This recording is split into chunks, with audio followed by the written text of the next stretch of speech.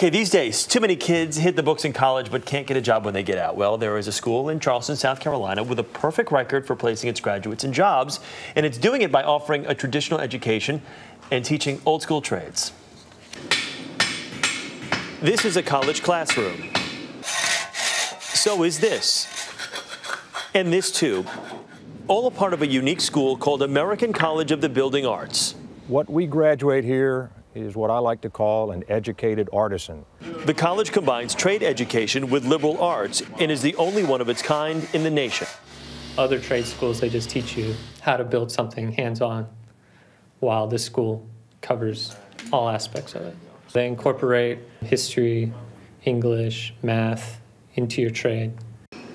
Students graduate with bachelor's degrees. They leave as modern day artisans with expertise in trades like ironwork, timber framing, and complex plaster work, skills not found often in this country. With my degree, I can not only speak with architects, designers, as well as general contractors, because I understand everybody's lingo.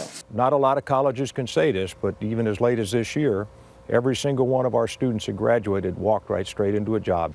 Of course, it helps that the student body is so small. There were only seven students in the inaugural graduating class of 2009. This year's freshman class boasts 17. The school, like most college educations, isn't cheap. Tuition runs nearly $20,000. For that money, it's as hands-on as an education can get. And for many of the students here, that's the appeal.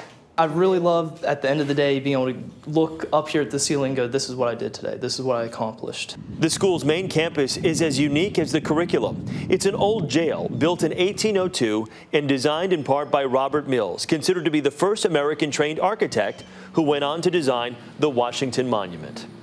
The building has barely been converted. Iron bars are everywhere, and classrooms still have the feel of a holding cell.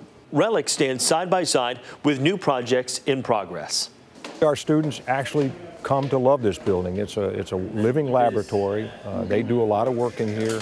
A lot of hard physical work, and the students wouldn't have it any other way.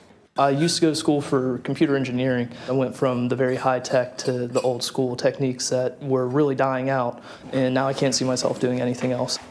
We're artisans. And they're doing some good that. work, huh? That is some so really, great. really good work. The school wants to expand to 150 to 200 students in the future. And for the kids that don't work out as artisans, they can always be parole officers or prison guards.